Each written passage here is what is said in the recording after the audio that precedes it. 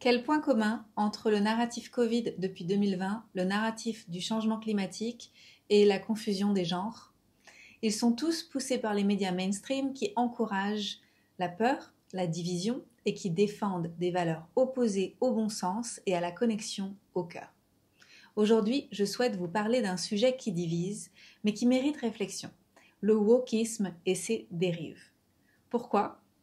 Parce que derrière ce mouvement, qui semblait porteur de belles valeurs, se cache une dynamique toxique qui impacte notre société, notre liberté de penser et notre souveraineté. Je n'aurais pas imaginé avoir un jour à prendre la parole sur ce thème, mais il se trouve que c'est le bon moment pour moi. Mon expérience de la cancel culture m'a ouvert les yeux sur les dangers d'une pensée collective rigide qui étouffe la liberté d'expression. Récemment, j'ai vécu une expérience marquante et pas évidente. Invité à un sommet sur la protection de la planète, on a annulé ma participation après avoir enregistré mon intervention et après que j'ai communiqué sur l'événement auprès de toute ma communauté.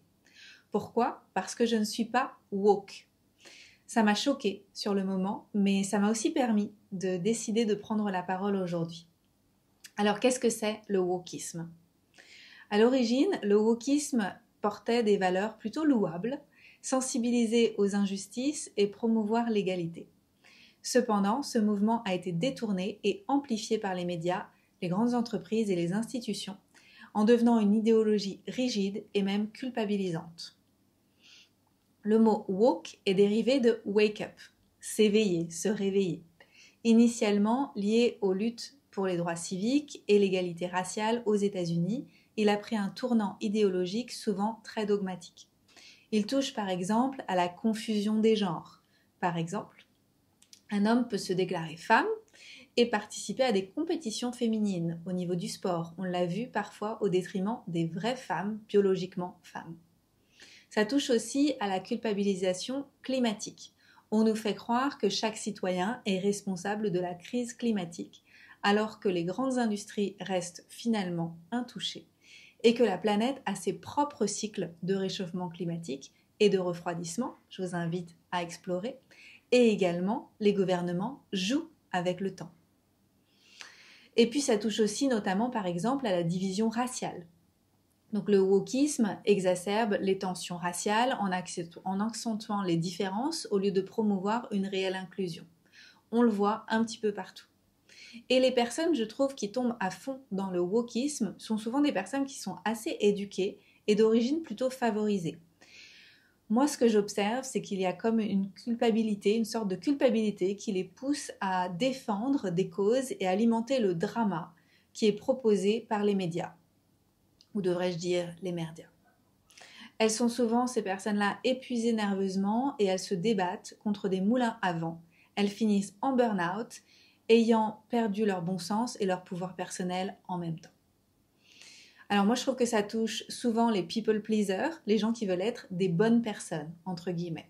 Et en fait, ces gens-là sont déconnectés de la source et se diluent complètement.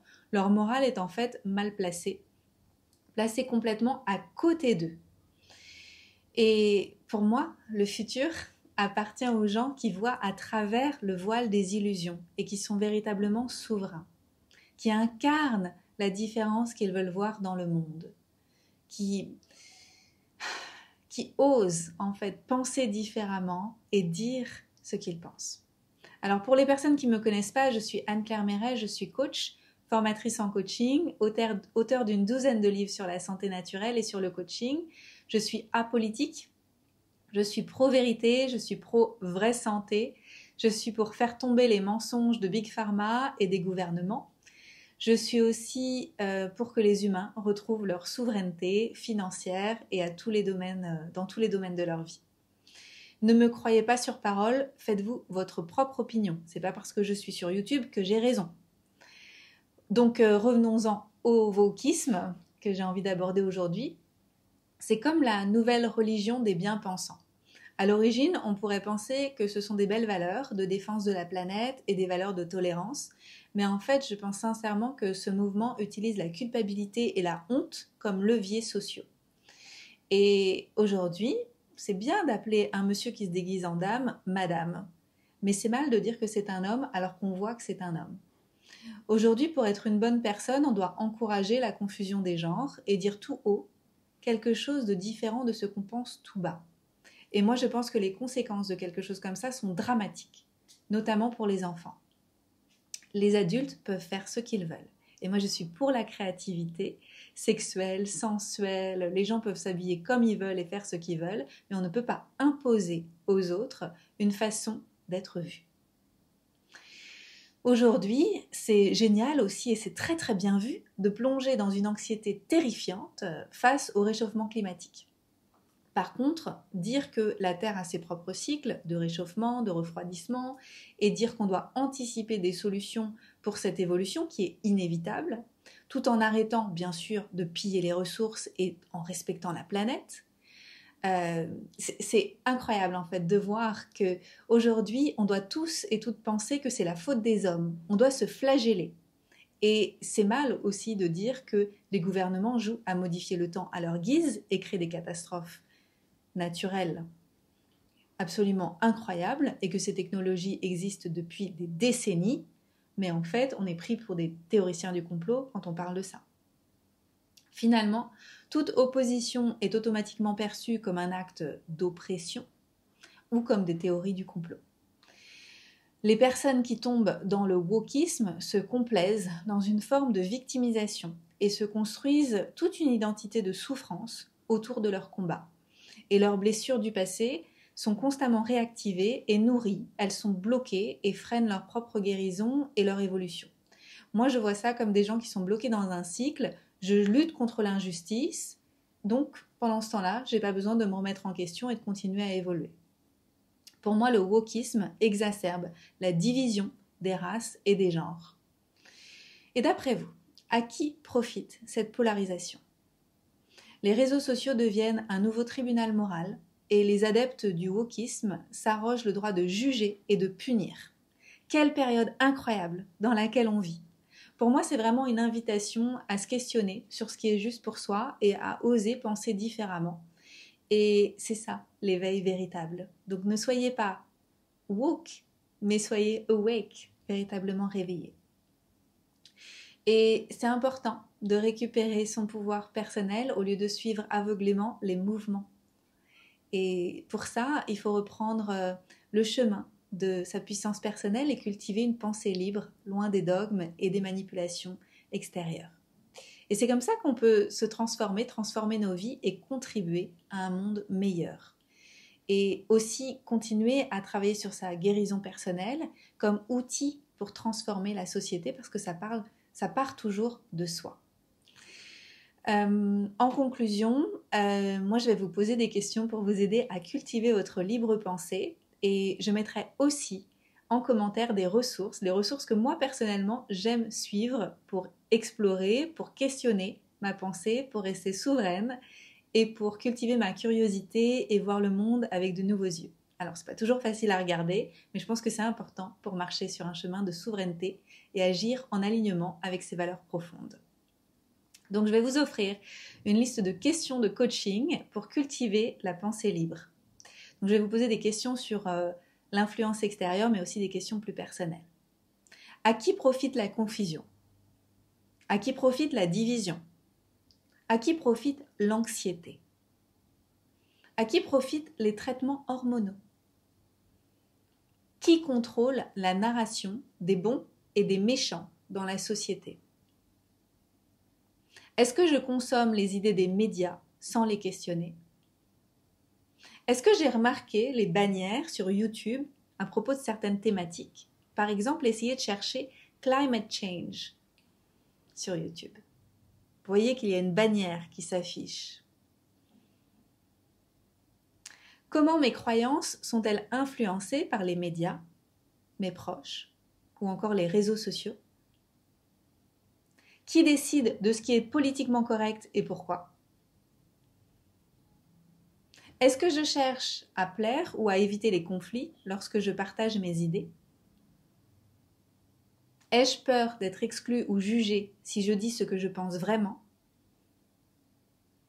Quelle est ma définition personnelle de la justice et de l'égalité? Est-ce que je confonds empathie et adhésion inconditionnelle à une cause? Est-ce que je suis en paix avec l'idée que mes convictions peuvent évoluer avec le temps?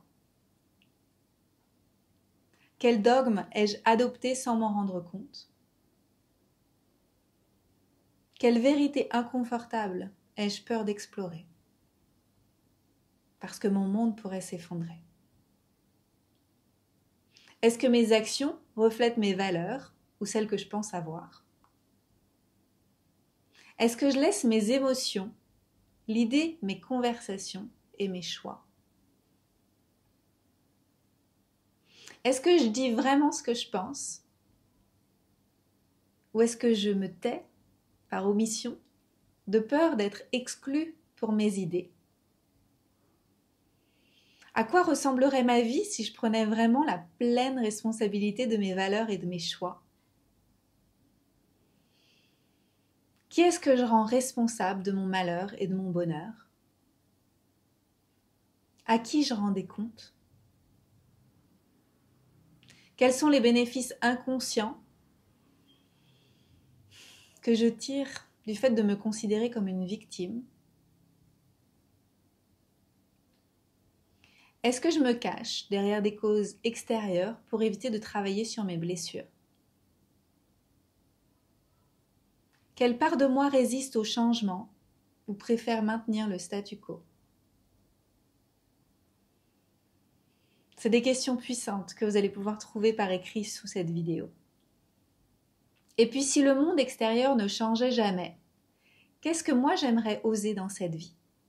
Quelles actions concrètes je peux entreprendre pour devenir une actrice du changement qui est vraiment important pour moi